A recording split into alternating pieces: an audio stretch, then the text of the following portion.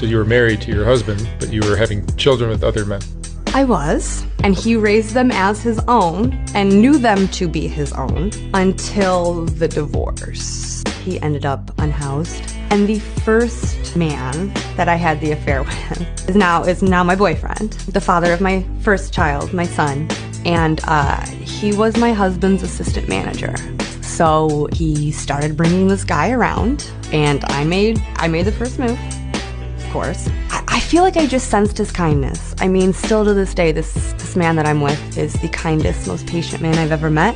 But one day he came over my house without my ex-husband there, and you know what happened next. And we only saw each other once a week to do this because of how my schedule, my ex-husband's schedule, and his schedule. But the second affair, who the man is the father of my daughter, he actually worked with me this time. He was my maintenance guy at my leasing job.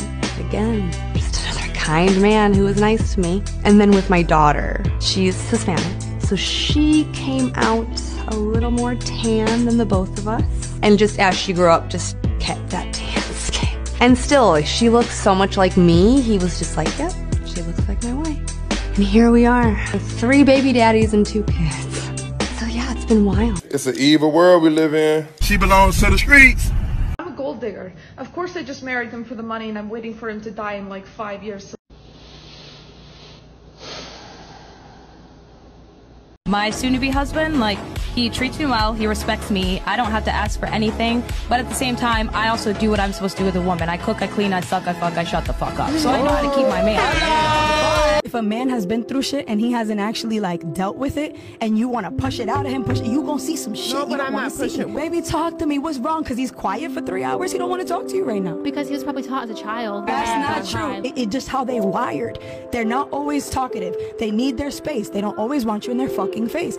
And if you are gonna be in their face, why are you nagging about why he's been quiet? Rub that man's feet while he's quiet. Sit on his lap while he plays his game. But look at a lot of girls complain about shit that's but women- I wake my husband up with a massage and coffee every single morning, and every single night I'm scratching his um, scalp and like giving him a back massage until he falls asleep. It's important that he falls asleep first. And I would say something that's romantic that he does for me. Well, since I do all of the cooking, it's nice when he takes me out for dinner because it's like a, a little break and it's just special. And then also, even just while we're here in Miami, he's kind of like my little bodyguard, like making sure if there's any men walking by, he just like puts his arm around me and just making sure that I'm protected. That's what that's really romantic, and that's something that a woman could never do for a man. W. Wow. Fantastic. wow. Okay. I like it. You are blessed.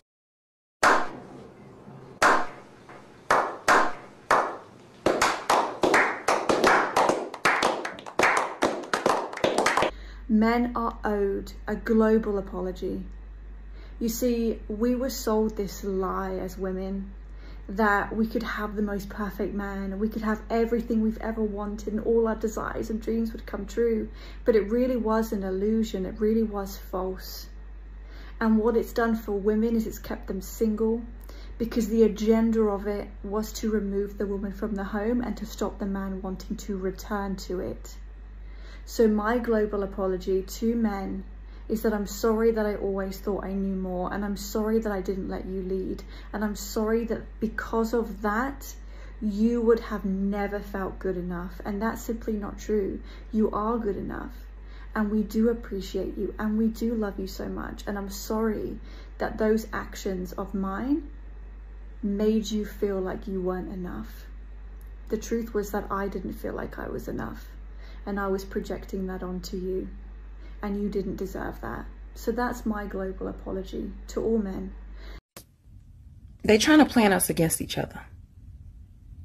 They're trying to do it by empowering women to make us feel so independent, like we don't need a man, when we really do, especially if we have kids. Now, those of you that, that don't have kids yet, um, you might not need a man just yet. But those of us that do have kids, we need a man, sis. We do. Our kids need a man. All right? They do. Very much so. But the system got us feeling like, woo, woo. Now we got all these feminine men. We got all these masculine women. This is what they wanted. And they winning. So strong men, salute. I respect you. I hope that and I pray that you find a woman that can let you lead and have some beautiful children for you. Whew, Lord, this is scary. For real. It really is. You're goddamn right. Women need to start making the first move. If anyone wants to be in a relationship, that's absolutely what has to happen. It just has to happen. Guys in the comments, back me up on this. We have told men for years that their masculinity is toxic.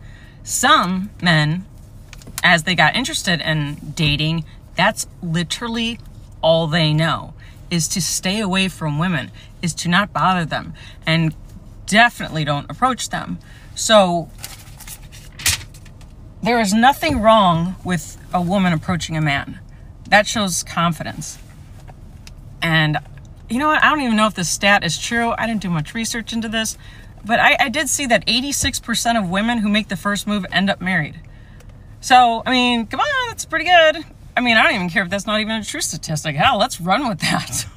But guys, back me up in the comments. Say, yeah, you would love that. Or uh, women say, yeah, I did made the first move and I'm now engaged, married, whatever. I'm telling you, that's just the way it's got to be. You don't have to like it. I mean, I'm sure guys didn't like when they were being called, when their masculinity, when their whole being was called toxic. They didn't like that. So start making the first move. And again, you don't have to like it. You don't have to like having to make the first move. You could still have a traditional relationship after that. This is just getting you in a damn relationship. And as far as, you know, not liking things, I do things every day that I don't like to do, but it makes me a better person, gets me to my goals. So these are just facts, okay? It's facts! It's facts! Is it not facts? These facts are not facts. Would you rather be stuck in a forest with a man or a bear? Well, I've heard about bears. They don't always attack you, right? So maybe a bear. Um, with a bear. bear. Probably a bear. Oh, 100% a bear. Definitely a bear. Some men are very scary out there. A bear. Please help me. Please help me. What is your name, ma'am? Karen Osborne. Please come now. Please come now. Send someone now. I'm being attacked by this bear. He's coming back. Hurry. He's he's broken my arms and my legs. I can't move. And I'm bleeding. And I'm gonna die. Please hurry. I'm, As soon as possible. oh my god, here he comes. Oh Lord. Please, dear God, no. Please, dear God, no. Hurry, sir. Can't go away. Did you hear me? Sir? Folks that we have certain, ma'am. I'm gonna stay on line with you.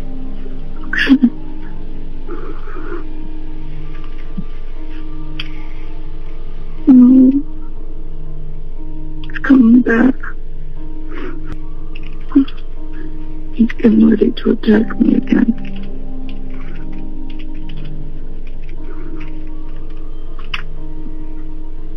Please tell my husband I love him. How long will it take them to get here? I don't know, man. They're coming as fast as they can. We have animal control, police, and the ambulance en route. I tried to tell y'all. I tried to tell y'all. She said, come over, spend the night. She kid free. Whoa. Like you sleeping with more than one partner. I'm straight on that. Oh my God. Look what how do your bed get like this? All these bed bugs. Somebody was sleeping in this bed for real. Ain't no Brother, ugh. What's that? What's that, brother?